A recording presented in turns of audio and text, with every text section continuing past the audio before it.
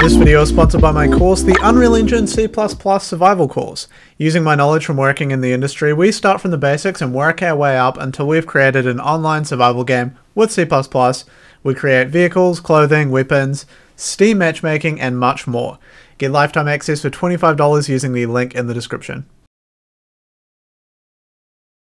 Hey guys and welcome back. Today we're going to be talking about a feature that separates a lot of novices from people that really know what they're doing and that is knowing the Unreal build tool and really just knowing the core of how the engine works. A lot of people jump straight in and they learn about actors and making vehicles and weapons and all this stuff.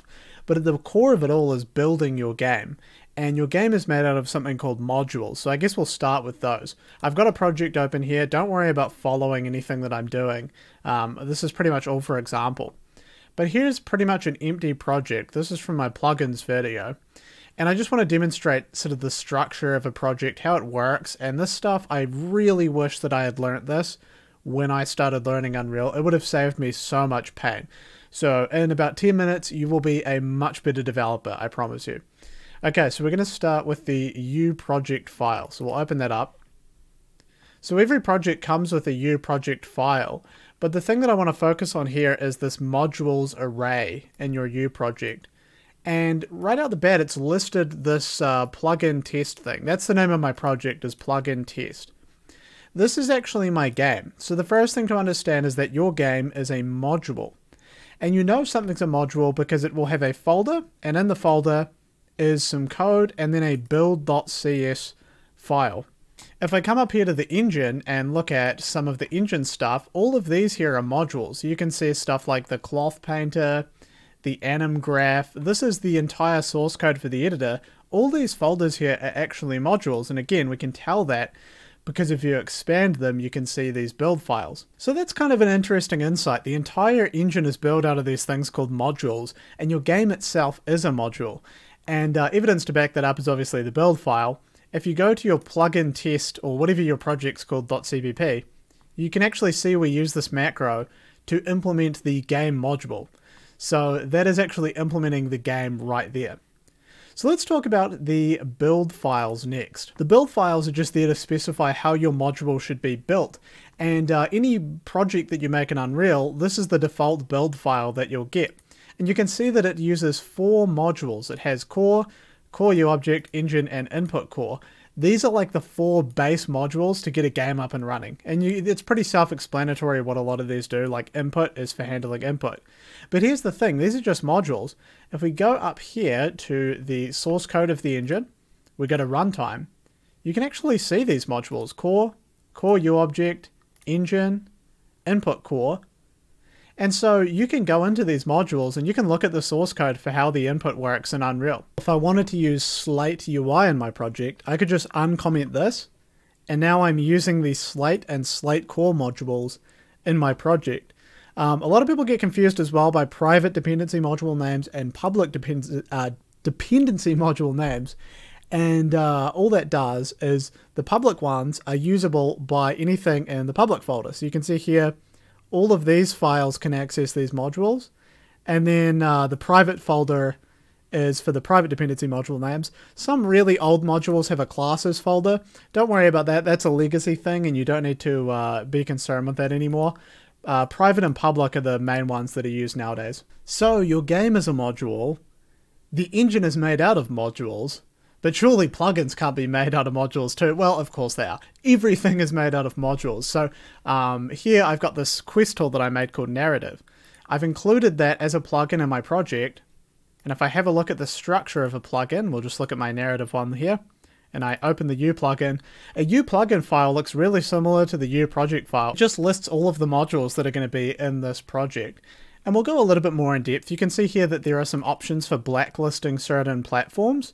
So say you have a module that does some Windows specific stuff, you might want to blacklist Mac and Linux from your plugin.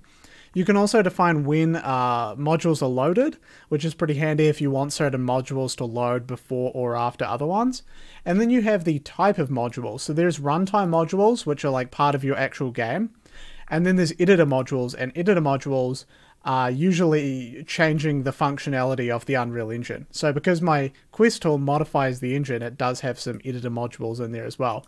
Now on to the next file that confuses a lot of people is the target file. And the target file really just lets you define different sort of ways of building for different targets. Here in my survival project that uh, is from my course, we actually create four different targets. You've got one for like the server, and you can see here we're defining things that only the server build needs to have. But then the clients that are connecting to the server, they don't need all the same information. You can see they actually get a little bit less information in their build of the game.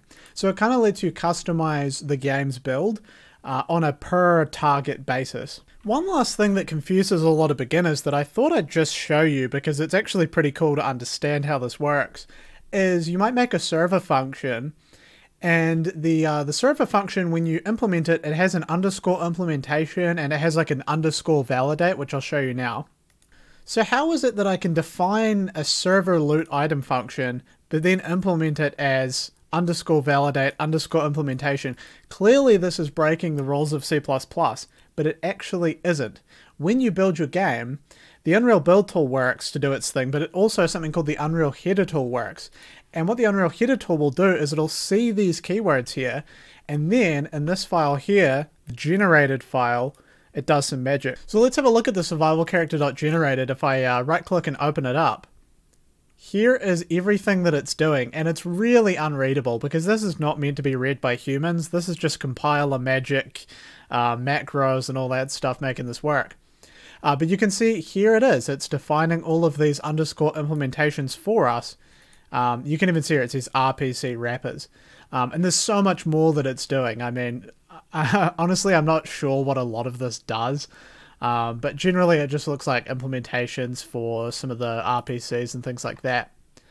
But yeah, this is where a lot of the magic comes from. A lot of these things where you're kind of confused about how how does this work? You know, how does this work with uh, this is totally defying the laws of C++. Well, it's actually this generated file is doing a lot of the magic. Now, what if something wrong happens in this generated.h? Well, Unreal have thought about this. If you hover over this, you can see it's in the intermediate folder.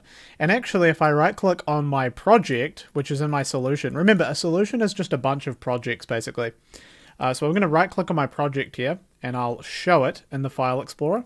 Notice that all of the generated files and projects and everything, they're all in this intermediate folder. So if you do have a problem with this generated file, you can totally just delete your intermediate folder, rebuild your game, and these can just be generated whenever you want, right? The Unreal tool can just remake them, so you can safely delete these files if you think it's worth doing. If you think maybe there was a mistake and you want to regenerate them, you can totally do that. So I hope you enjoyed kind of the basics. I really wish someone had told me this stuff when I started, and I feel like that's the minimum you should know.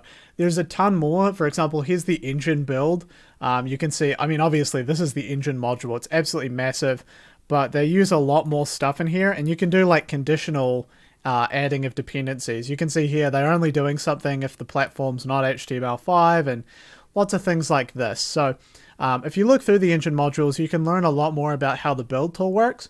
But if you just learn the stuff that I've described in this video, you will be a much better developer for it, and it'll probably save you quite a lot of headaches as well. Anyways, thank you very much for watching my video. If you want to support me, try out my course. It's really good. I, I think you'll like it. But uh, anyways, guys, thank you for watching, and I'll see you guys in the next video.